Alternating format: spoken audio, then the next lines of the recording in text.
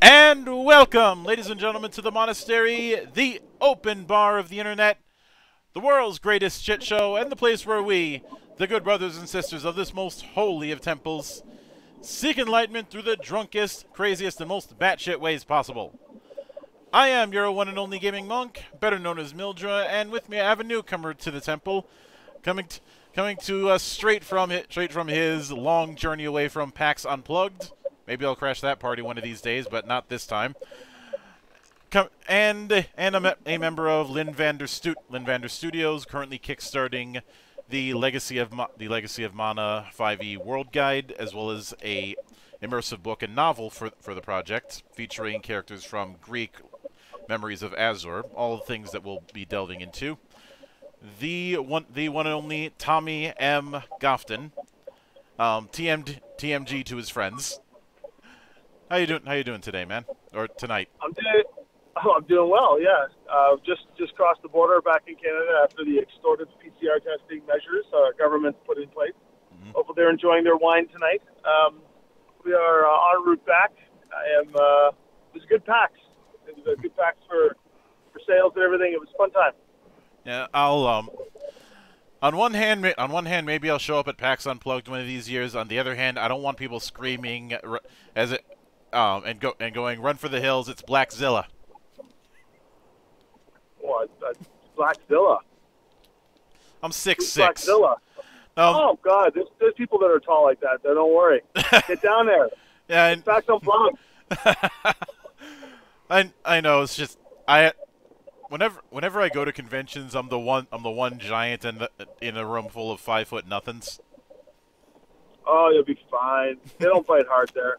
Although Philadelphia's a bit of a rough and tumble, so Um, yeah, I've, I um I'm well I'm well aware of Philadelphia's reputation as the only cit the only city in the U.S. to throw snowballs at Santa Claus. pretty much. And then Um, they take his candy.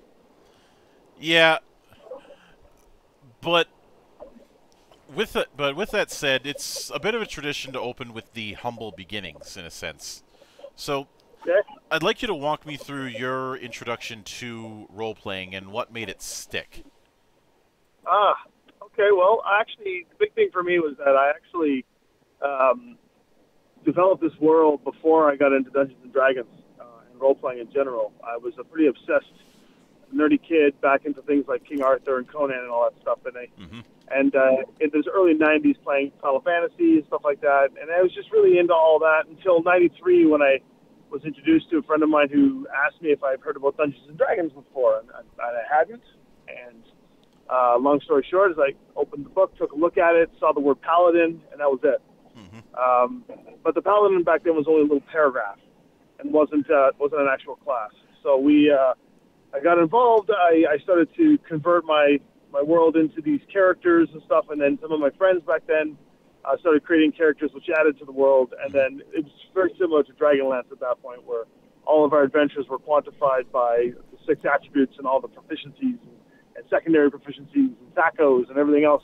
Uh, and every iteration of D&D and Pathfinder slash D&D uh, going forward, with the exception of fourth edition, not because I'm a fan of it, sorry Rob, uh, Heinsoo, but uh, because uh, I just missed out on that era uh, as I delved into other role-playing games. But every iteration after that sort of helped shape and build the world since the 90s, and then um, and then uh, got into game design based on a dare, and uh, met some friends along the way, and uh, started designing games together. And then we uh, I, I came up with a couple iterations of this book, uh, each one at the various amateur levels of my career, and now I'm at a point where this is sort of like my uh, my last hurrah slash giving it one good go, and it's uh, very impressive so far. I'm, I'm happy with it. But really, actually happy with it for the first time systemically, and uh, that's where I am. And that's my very quick and brief humble beginning. Now, since you mentioned King Arthur, I'm, I'm tempted. I'm tempted to ask if your introduction was through was through the, was through any of the books, the the old movie, or um or and this is gonna this is gonna be a deep cut for my for my own childhood, the Knights of Justice cartoon. Uh, uh, so for me, it was it was a combination of uh, uh, The Once the Future King by T.H. White, but that came after the 1981 Excalibur with Nicol Williamson and Nigel Terry. Mm-hmm. Uh, but uh, that was where I began with it, and it was actually I was actually into Final Fantasy before I got into uh, the Arthurian Legend, and I, I just started attributing Knights of the Round Table as different characters from Final Fantasy, and I, I started blending them together to the point where I thought they were both connected in my weird and like sonically autistically child mind. I just started like thinking that they became the, the same universe, and then of course Conan the Destroyer, Conan the Barbarian kind of took over, and uh, those those in combination with Highlander, believe it or not, is how this entire thing festered into what it has become today. So with with that with that kind of thing in, with that kind of thing in mind, um, I think it'd be would it be fair of me to say that Legacy of Mana is leaning is leaning far more in the um, in the Gonzo slash um, Magitech end of fantasy.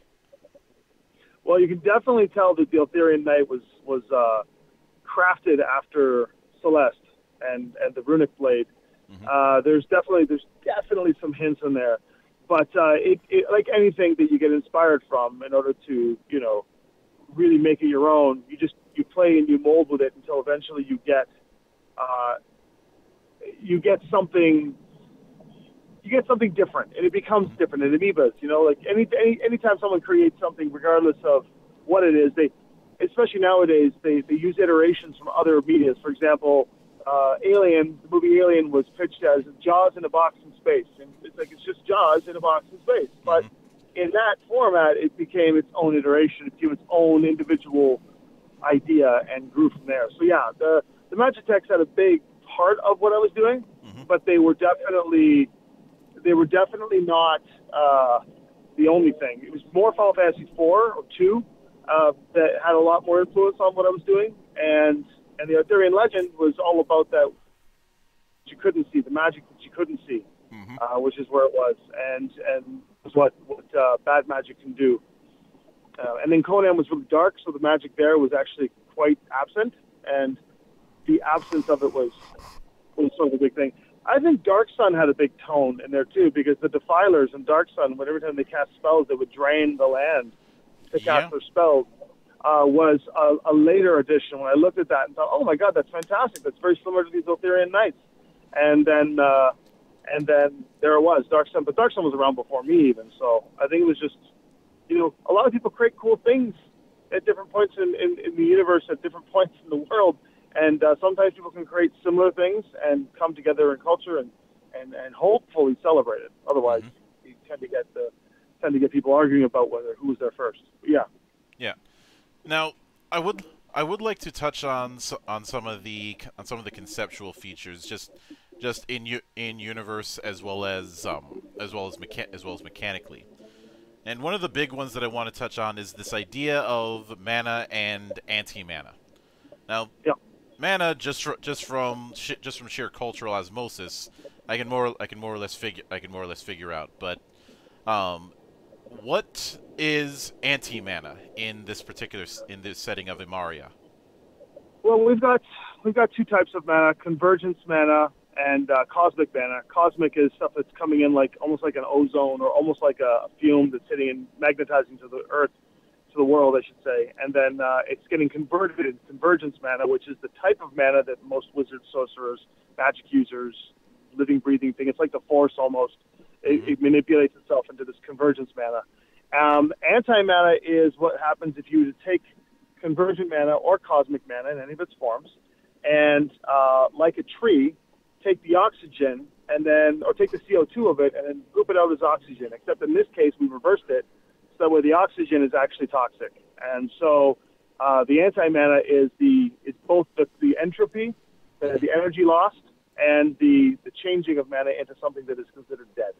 And so that's that's our concept of anti mana, which can also be manipulated by organisms and beings um, in an interesting way until it is finally dissolved from existence, which has profound effects on the ecosystem of the world, Yeah. and not not just the biological ecosystem, but like the cosmic ecosystem of the world. Now, the other the other thing I'd want I'd want to cover is um chron- is chronomancy Yeah, there's the heart. because um, time tra- time travel or even time manipulation is something that a lot of fantasy settings um, dip into, but never but never go all in on. And the the the closest thing I, the closest thing I can think of it in terms of actually trying to dip into the consequences of it, um, putting aside the Shintiara setting, which is still in development, um, is the is the time magic and, and predictionism stuff in Ars Magica, where the, where there are very specific rules that if you break, you will end up pissing off a lot of people um, using that kind of magic. Yep. So chronomancy in this world is uh, is a fearless use of it. It is uh, the, the way this world works is when it was first terraformed or whatever the cosmic genesis of the world is. Uh, there was uh, angelic and demonic or fiend and celestial forces that were trying to bombard it in its infancy, and dragons uh, that inhabited the planet uh, needed to protect from these this invasion that were coming from moons.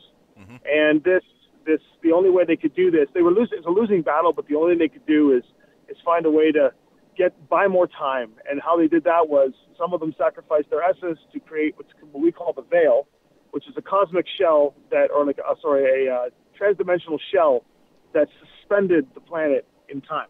Mm-hmm. And so, to fiends and gods and other, let's say, spelljammer like things, like other like cosmic weave that tries to come to this to this uh, world, can't get through. It takes maybe to them it's like days or maybe even hours, mm-hmm. and inside the planet it's uh, hundreds of thousands of years.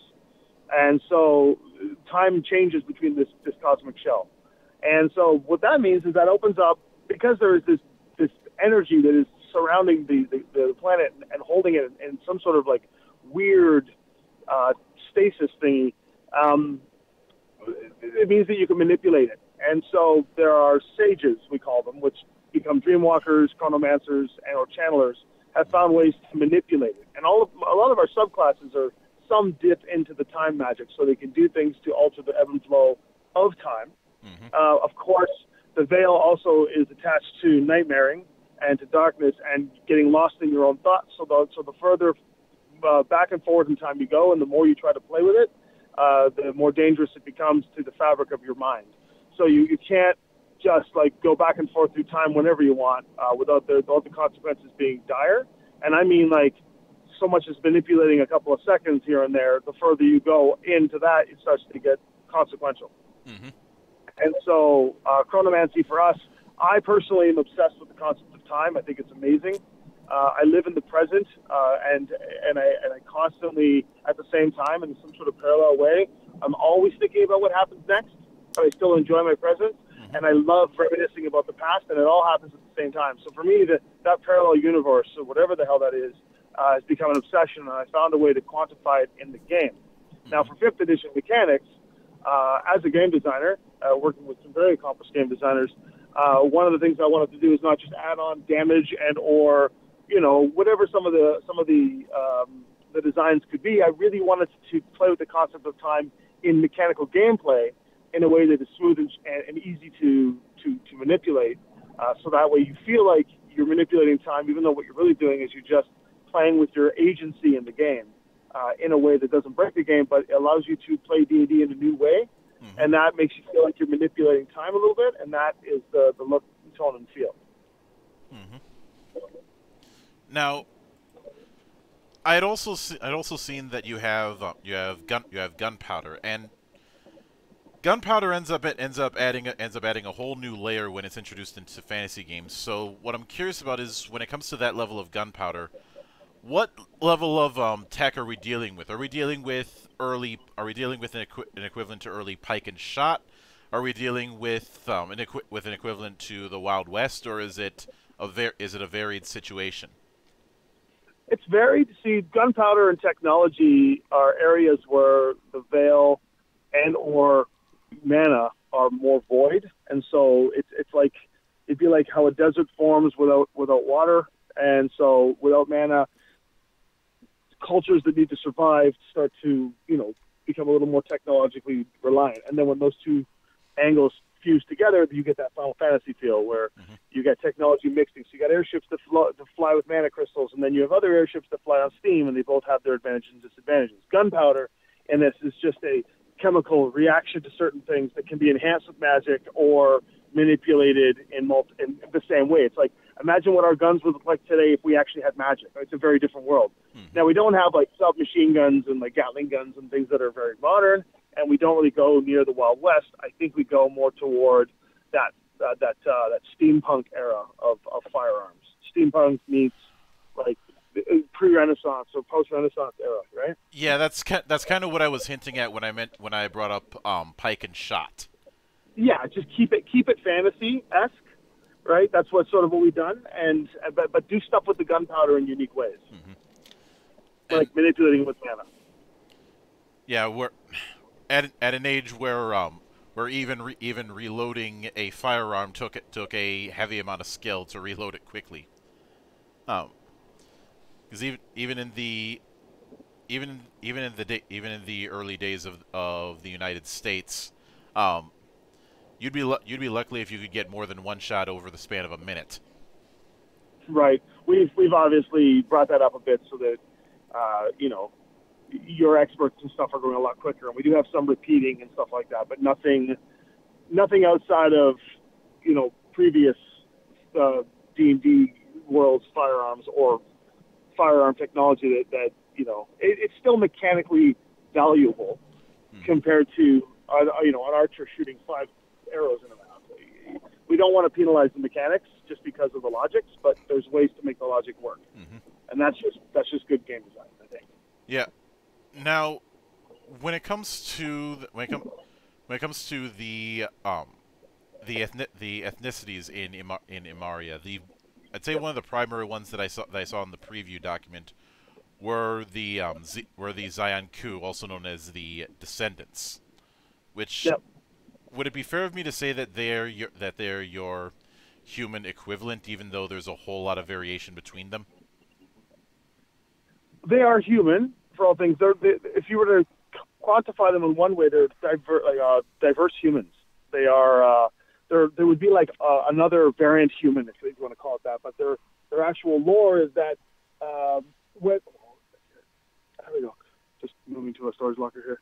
Mm-hmm. Uh, when uh, how, so they're actually more inspired off of the old Birthright uh, Dungeons and Dragons setting, where mm-hmm. there was bloodlines. Except these bloodlines come from de- deities or divine beings, and in this case, the Zanku are coming from fiends and celestials that were trapped inside the veil when the veil was was put up. And over time, like generations in a vampire game, they've become weaker and weaker and weaker through their procreating, and eventually it became so dormant. This is how our humans were born. Our humans are, in fact, just descendants from uh, Fiend and Celestial. And the Zanku are a very select group of souls and spirits that uh, that reincarnate themselves in a, in a very finite pool that have managed to survive the uh, the test of time, and so they've got odd abilities and things that they can do that are more apparent. Mm-hmm. Now, within within within that, um, since you meant, would it be would it be else given the whole given the whole mana relationship that they all have? Um, yep. I could see I could see some making some at, making some analogs to Genasi, even though it's not a one to one comparison. Well, I mean, anything in fantasy will have their comparisons. I mean, you could consider them closer to Aasimars and Tieflings of anything, mm-hmm. but uh, but in reality, they are, are honestly variant humans that are just that mechanically. And in terms of like lore wise, it's our way to connect them to the natives of the moons that have caused the entire world to come into being. Yeah and oh. they're you know they're they're like Vulcans to humans in sci-fi. They're pretty much the same damn thing, mm-hmm. but one's got ears and green blood. Yeah, and uh, and you do you did dip into the our elves are different trope by having elves with wings. Oh yeah, so the Ariel elves and our our types of elves like we don't have drow, but we have deep elves. Deep elves are, are from the underground, but they're not inherently evil. They don't worship spiders. Um, they are our elves are we have we have what's called the caretaker races, and the caretaker races are the ones that were there when the planet was being terraformed. And the planet is actually just an inverted seed of dragons. Mm-hmm. I don't want to give away too much. Uh, it was a seed that was floating through the cosmic universe. They got caught in a mana flow between two moons that exude, exude um, what's the word? Exuded mana, Mhm. and it got caught like a like a like a like a bug in a web, and then the shell of the of the of the planet absorbed mana enough to, to cause what we like to call it for fun a popcorn event where the world terraformed, and the cosmic caretaker races, the elves, goblins, uh, dwarves, uh, basically the classic um, Lord of the Rings sci-fi brand, Mhm. uh, orcs were taking had their all their positions and stuff and and this is like the major religion of it right? Um the major the major like uh, genesis of it. We're taking care of these dragon seeds and uh humans were born from these celestials and so that uh that whole mix you know they the different types of elves and stuff happened because of where they were in this world and they adapted to their environments. Hmm Now, and of, now when it comes to when it comes to the introduction of of the um more, of the more anthropomorphic um ra- um races in the in the game like the lupine and the vulpine, what what gave you the idea of you of of having an entire having an entire set of neem of Nemals as they're referred to? Uh, I was obsessed with Ninja Turtles way back in the day as a kid, and uh, I didn't want to do the mutant shooting route. Uh, so what I did was, way this works is that the the ley lines and the ley roads of mana that flow through the land, they tend to fray in certain areas. It's kind of like a more wild magic, and uh, we have like in most worlds where they have different different um, terrains and different different uh, ge- geographies. This one was more of the wild, and in the wild, these animals were you know, living freely until they the wild magic started to turn them more bipedal, Mhm. and uh, and then they just became uh, an entire culture of bipedal Yep. creatures, such as the wolves, the mantis, uh, you know, everything, everything, the rabbits, foxes, and they just a whole culture, a whole continent of these these things. And I think it's one of the major attractors actually. Over the years of Legacy of Mana, I've been playing it at Gen Con, uh, Dragon Con, PAXes. We've been we've had like you know dozens of GMs run for hundreds of people, and we've always had different groups of people get really into it. And uh, one of the major things that almost everybody unifies on is they love playing the, the Nemos, the the bears and the the lions and the tigers and the bears. Oh my! Like, you know what I mean? Yeah. And And there's always a different type of type of D and D player that plays. Like the ones that are into the to the like the Nemals, they're like really into it.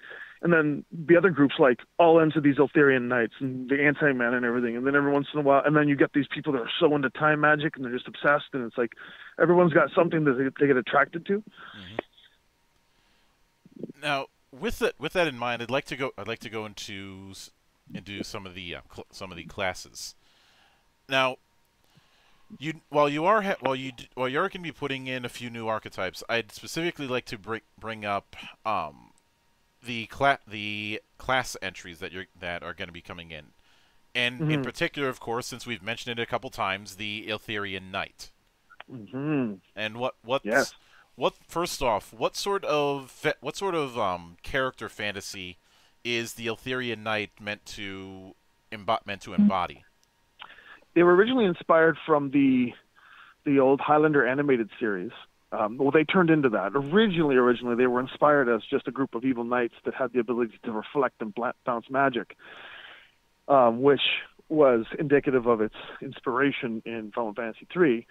But they were great. They were a great type of villain to have. I, I te- kept all the technology away from them and just strictly went with these these cool like you know, nowadays they have like uh, rune knights and stuff that can cast magic while using their swords and do cool stuff like that. But I wanted these guys to not like magic, and not that I want history to repeat itself, but I was definitely following up on some of that more imperial background where, you know, there was a genocide here. They wanted magic gone. Um, Mhm. They had ruthless leaders with with bad agendas, and this is what they wanted to do. And it was a great plot hook uh, to to get make it so that way all the heroes were heroes, and it wasn't Game of Thrones where everybody was politically killing each other. I was a bit milk toast back then. I didn't like friend betrayal, but you know, as kids, you want to all be the Avengers with all the drama. So we created a, a communally bad guy. Well, but then as time went on, and as I started to develop this into something that was more of an actual product, I didn't want to just make everything bad. Mm-hmm. And so we started putting the politics in there and started giving them more of the empire feel, and then defectors and you know, and then we put some, then we put actual logic and some actual design behind their their ability to use these blades to deflect and bounce magic. Mm-hmm. And we decided, is this a class? Is this not a class? We developed it for Pathfinder. We developed developed in fourth edition. We did it for Savage Worlds. And yes, every single time it's like, yes, this needs to be a class. This shouldn't. This could be a subclass of a fighter. It could be a subclass of something else. But it's got enough uniqueness to it that it could be a class. And so that's what we ended up coming up with. Yeah, and truth truth be told, as as a bit of an aside, I um, I'm not the I'm not the biggest I'm not the biggest fan of the push to to take to take certain ideas and try and force them into being subclasses because sometimes when you do that, you end up with a square peg in a round hole. Right? Yeah, that was the thing. We we did have subclasses for a while, but it wasn't enough. Um, they were just a fighter that could bounce magic. It was kind of boring. And it's like, no, we got to give them some girth. We got to give them some reality to it. And the, I think the mechanics are like they're they're really fun to play. Uh, I've played one on stream several times, and I know a lot of people who play them. It takes a few minutes for them to grok around what they can do, mm-hmm.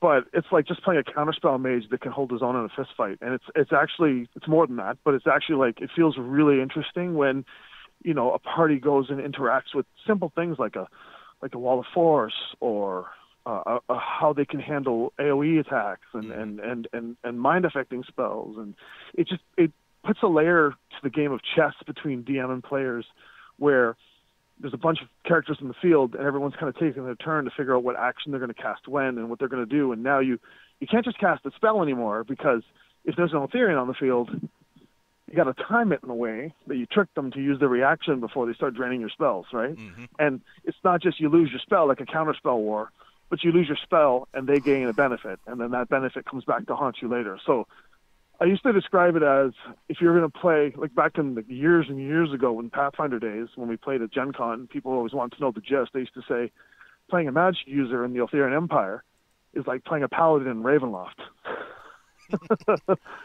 yeah, you want to be a paladin and smite all the undead? Well, you're going to attract the big ones, right? You're going to, you're going to have a lot of uphill fight to do. Yeah. Now, there are now in the um, in the preview there are three there are three disciplines, basically the yep. subclasses for Eltharion Knights that, that are presented. And now, obviously, in that preview, you only all, all, the only thing that's mentioned is the third level benefits for each. But what sort of feel are what sort of feel are the Inquisitor, Defender, and Infiltrator um, disciplines meant to embody?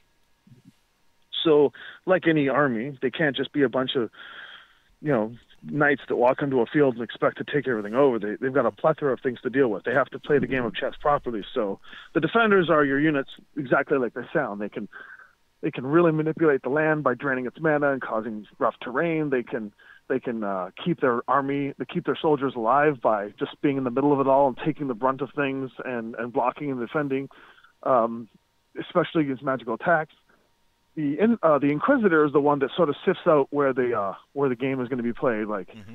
you know subtle magic use, um, really well placed uh, magic against the party, things that can cripple a party, like lining up for a lightning bolt, things like that. They can mm-hmm. sift, they can they can sense the uh, the battlefield and sort of like act as a counter agent against those clever wizards that are hiding out behind the tree. Mm-hmm. Um, and the the uh, infiltrator is the one that actually isn't really in the front lines. They're always going into resistance groups and stuff and trying to figure out where good or magic, good or bad magic is being used, and how to subvert it. Mm-hmm.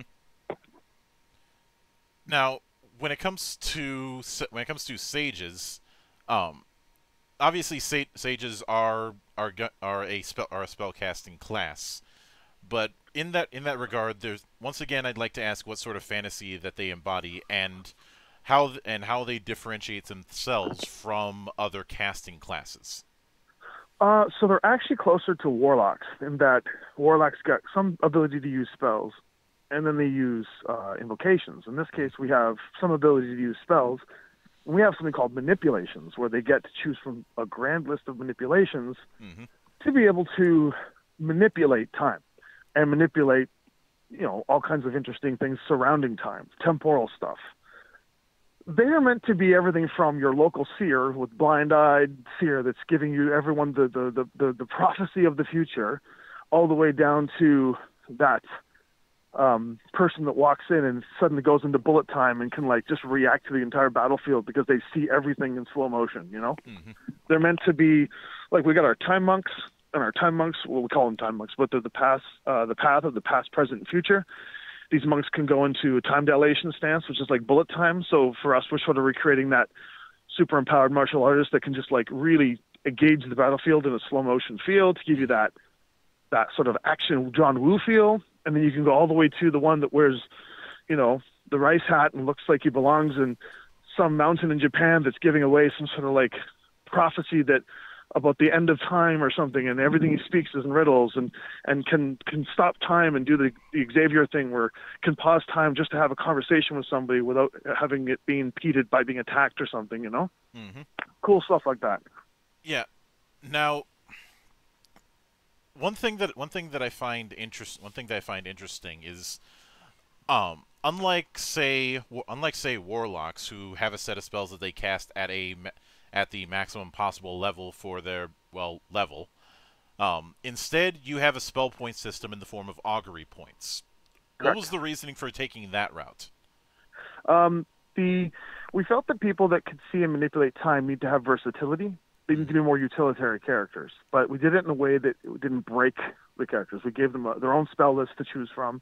We made it pretty stringent, and we worked around things that were time based, like haste and slow, expeditious retreat, things that things that really mess with um, time based effects. And giving them augury points allows them to build their spell list and do stuff to react throughout the day as they need to, as opposed to the memorization process of it, because these people are reacting to what we consider prophetic visions and or memories from the past that they never experienced that they should have that are coming and hitting them instantly, allowing them to do what they need to do. So that was our way of saying this is sort of like an all-in-one manipulation instead of saying read the future, augury points.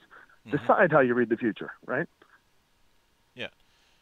Now, I mean, oh, and okay. sages are going to be a little like the chronomancer specifically. It's it's a there's a lot of classes in D and D that you play that you have to discuss with your DM before playing with because mm-hmm. some DMs don't know how to handle certain abilities.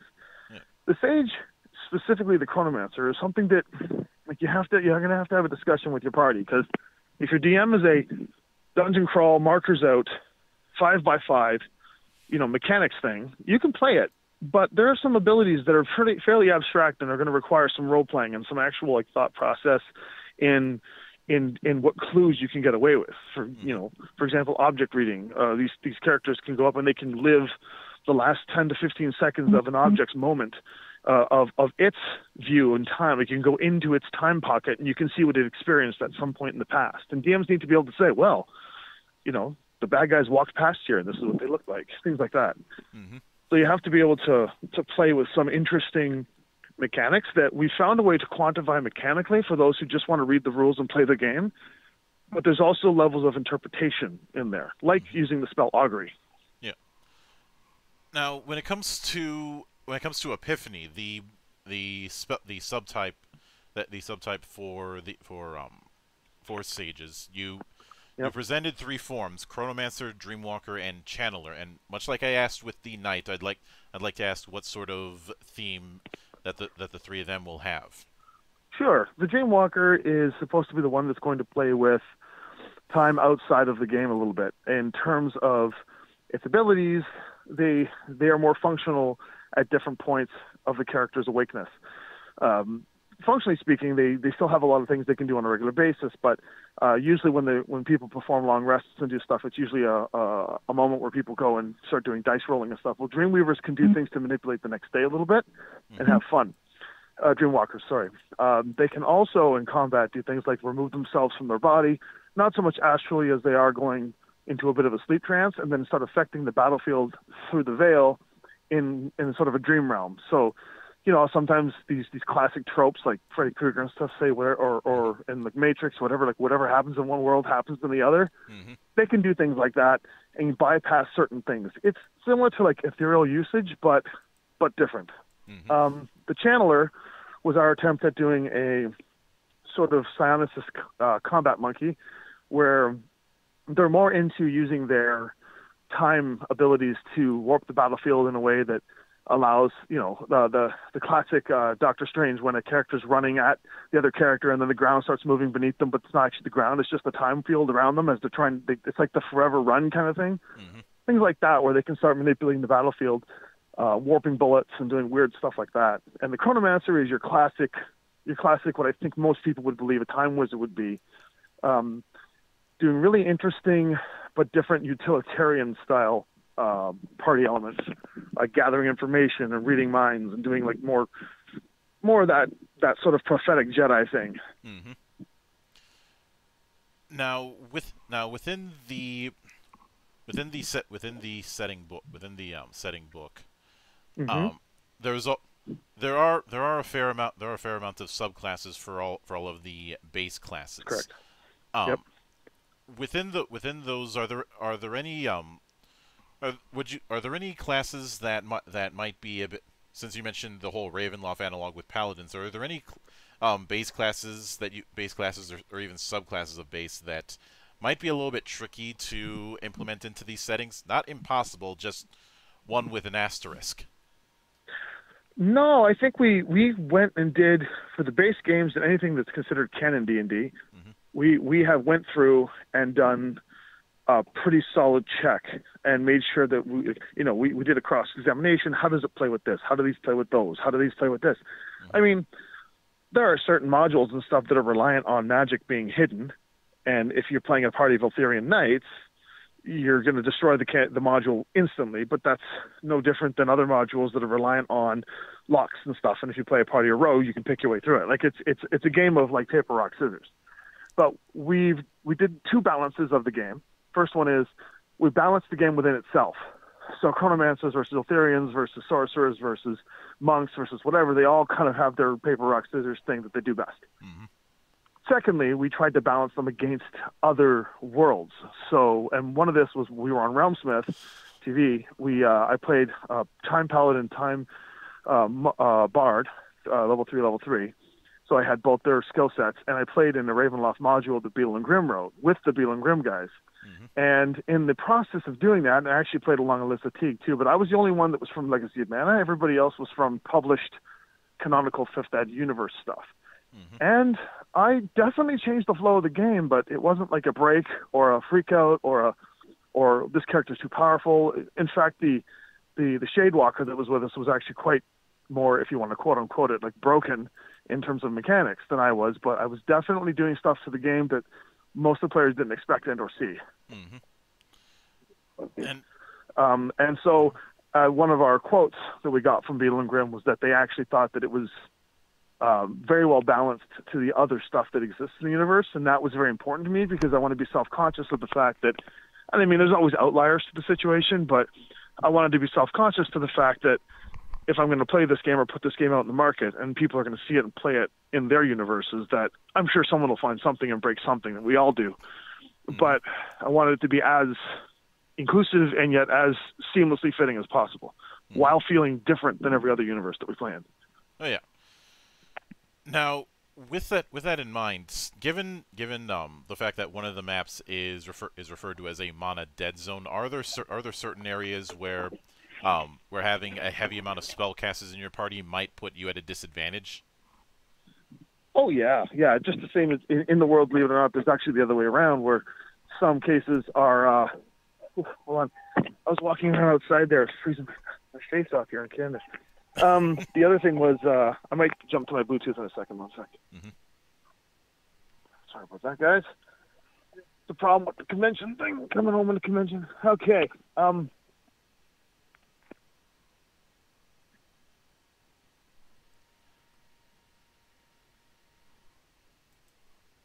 You still there? I didn't lose you, did I? yeah, no, I'm here. You got it. Yeah. Okay, so um, what was the question again?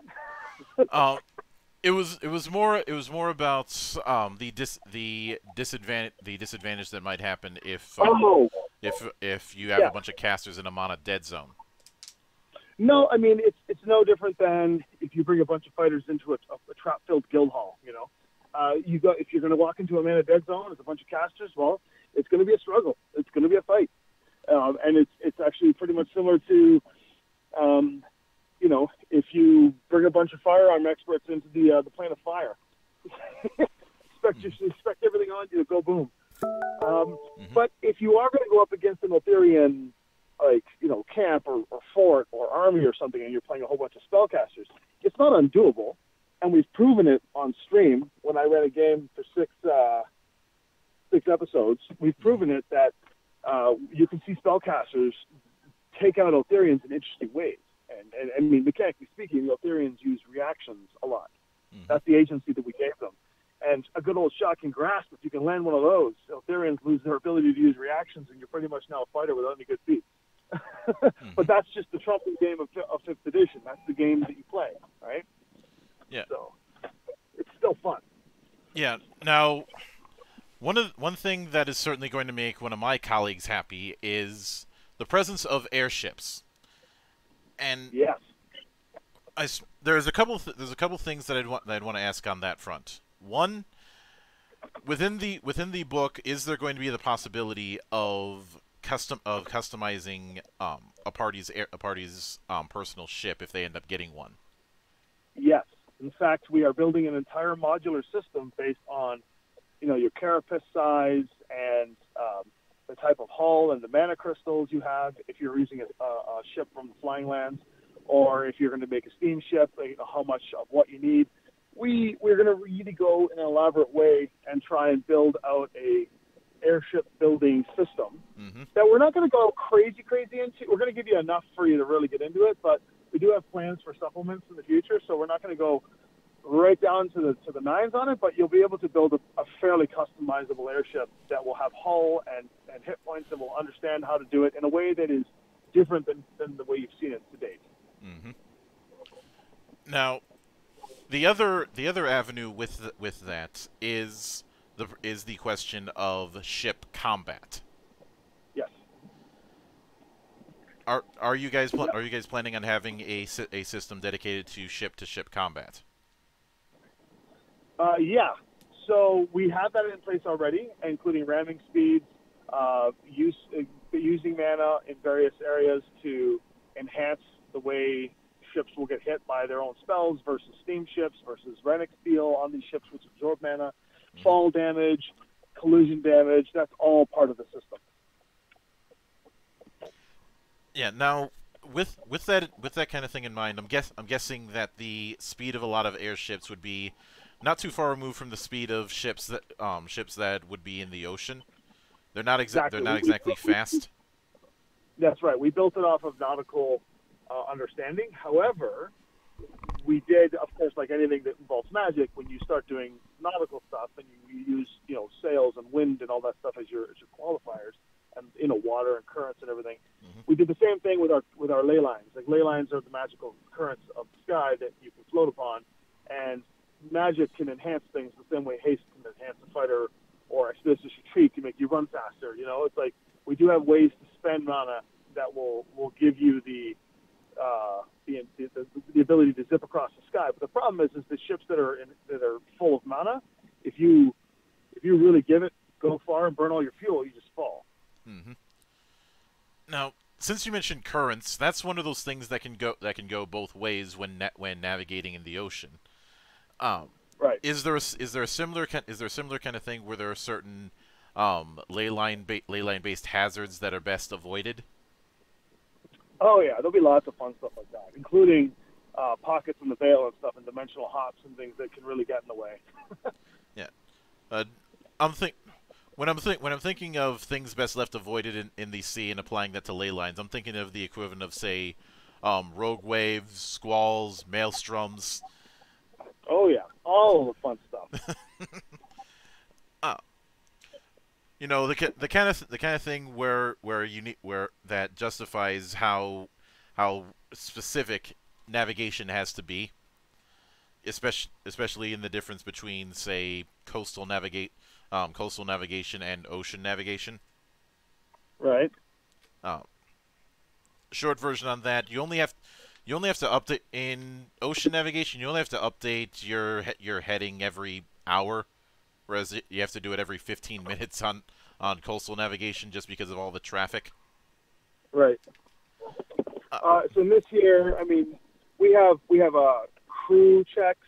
Mm-hmm. We have all the positions where people, players can take them and use survival skills, and and they can use navigators tools and stuff to help make it happen. And ley lines are, are ley lines. I mean, you can follow them, and they'll take you where you need to go.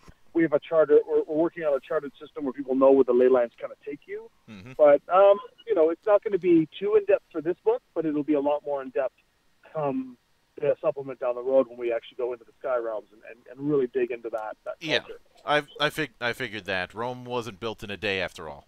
Um, Well, I mean, we've had it all, but we looked at it and we're like, man, we we could do a 400 page book in no time. But realistically speaking and financially speaking, we got to keep it to somewhere around 280 to 300. So we knew we had to make some chops, but we're like, hey, it's going to be thick enough for you to play a very functional, easygoing game the whole way through from level one to 20, and it will be very different. mhm. Um, and then if, if it works and it sells well, then you know we're gonna we're gonna keep going with it and keep putting cool cool projects out. Yeah.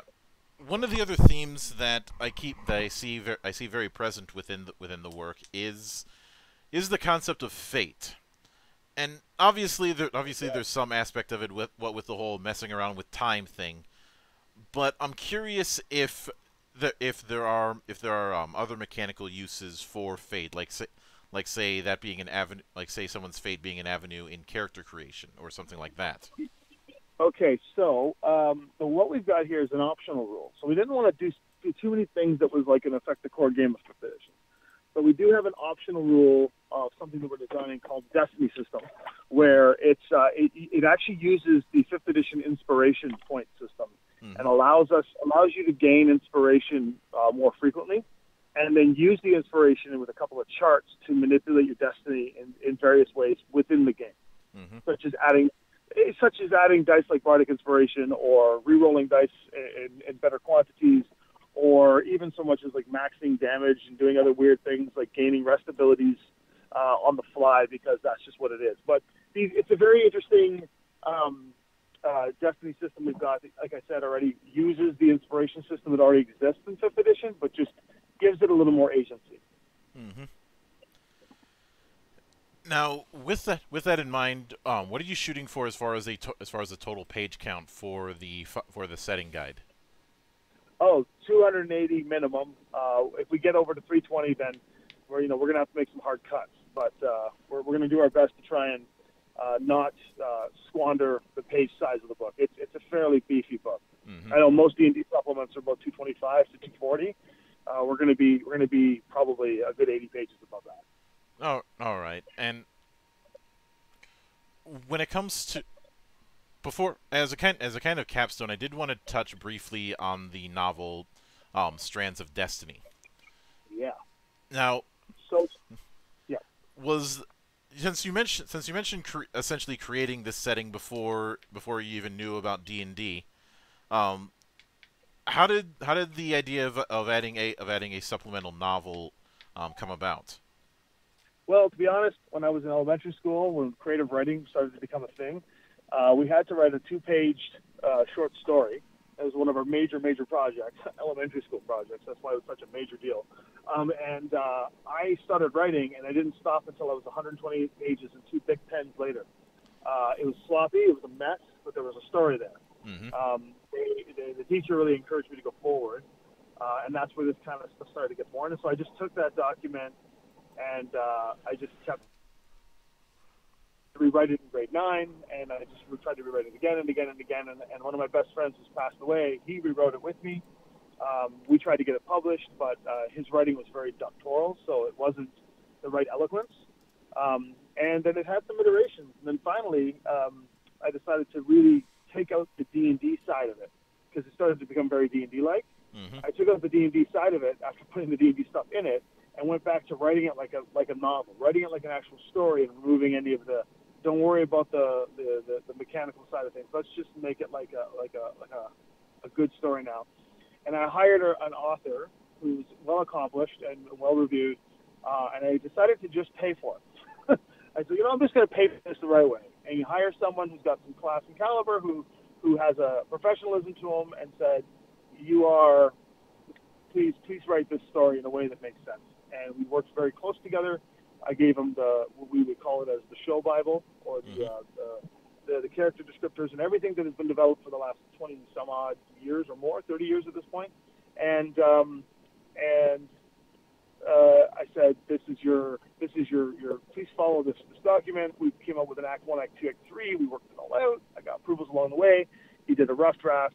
Uh, I read the whole thing back to back, um, and the only way I can describe it to people is it's like it's as if I was watching all of my friends play a game that I was still dungeon mastering, that I still knew the end was coming, but had no idea how we were going to get there, and yet it still felt like I knew everything that was going to happen along the way even though I still had that full eyes closed anticipation of the book. It was the most surreal experience I had since watching my child be born.